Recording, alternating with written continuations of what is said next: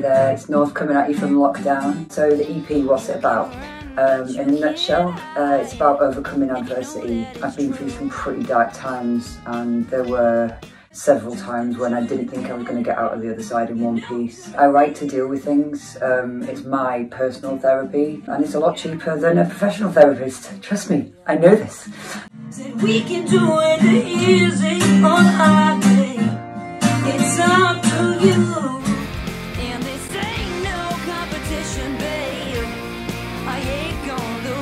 I want them to feel empowerment. I want them to find strength when they don't think they can muster it, and I want them to find the courage to overcome the things that they thought they couldn't because you can.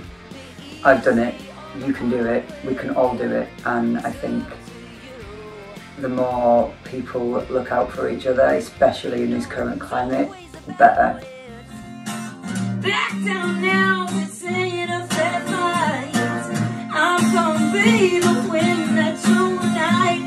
Easy or the hard way. It's up to you.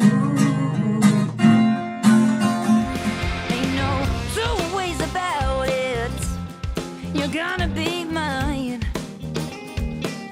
As far as my team, the Dreamscope guys, my dream team, uh, first of all, I guess there's Matt. Uh, Matt is the boss man. Uh, he, he helped me a lot with enunciation. Then we had Gonzalo, he's on arrangements. I mean, the guy guy's forgotten more about theory than I know. My producers and engineers went, there was Martin and Nadia, bless them, they, they managed to survive in a room with me. After that, the music went to Nashville to to Robert Venable. Like this guy is mixed and mastered Megadeth and Kelly Clarkson. I still it still doesn't feel real. Like you, mix Lil Long Me's music, but uh, there you go. You know I'm gonna win. Cause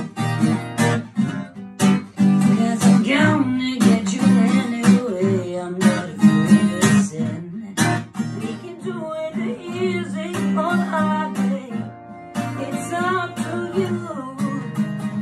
I wrote, um, in fact, every song I've written up to now, I've written uh, with my bestie, uh, Mr. Dan Bourne of Monument. Um, he's been putting up with me for the best part of a decade, and, and quite frankly, I think I need to get the medal. Uh, he's recently uh, defected to Germany, and uh, I hope it wasn't because of me. When it comes to writing, it is quite an emotional process. It's quite exhausting because you're reliving things that you've gone through, um, and there's just something very cathartic about being able to take something that is negative and turn it into a positive. Uh, a lot of the time I would lock myself in a room, come up with, with something lyrical, um, and then we just bounce it between the two of us until, until we hit the sweet spot. And uh, that was it. That's how we roll.